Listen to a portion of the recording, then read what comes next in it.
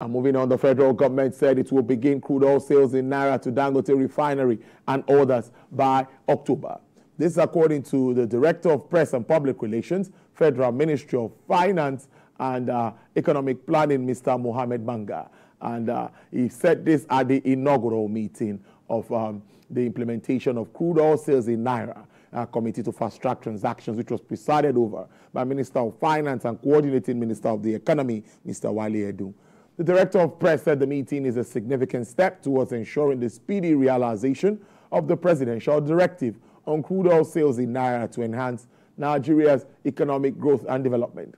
He emphasized the need for transparency and directed the technical subcommittee to finalize details as well as prepare a report for the president, confirming that his directives were on track for implementation from September.